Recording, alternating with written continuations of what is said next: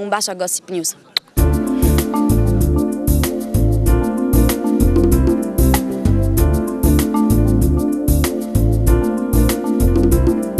Giulia è una ragazza che fa parte della, della, cosiddetta Roma Bene degli anni 70, vive a Prati, quindi è circondata da diciamo, le convenzioni borghesi dell'epoca.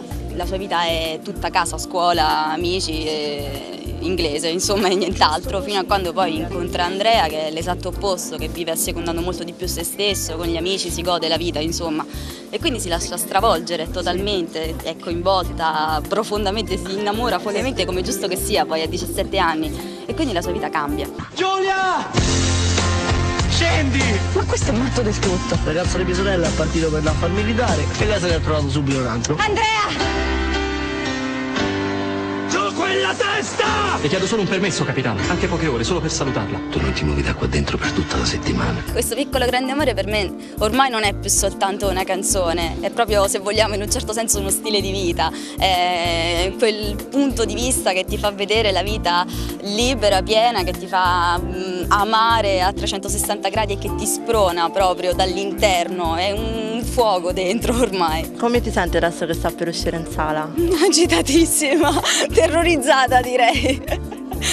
Ti dico solo una cosa, stamattina ho chiuso dentro la, le chiavi di casa, cioè ho chiuso la porta e le chiavi stanno dentro e non so come faccio stasera a tornare a casa, pensa come sto.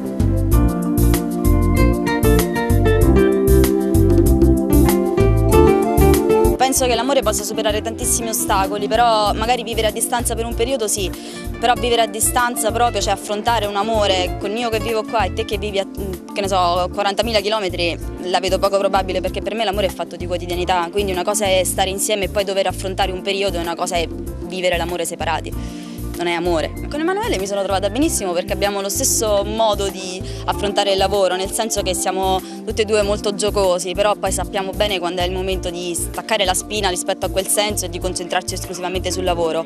Quindi in questo stato, lui mi è stato poi comunque molto vicino, anche sul set ci siamo confrontati spessissimo, anche con Riccardo, abbiamo proprio avuto confronti continui.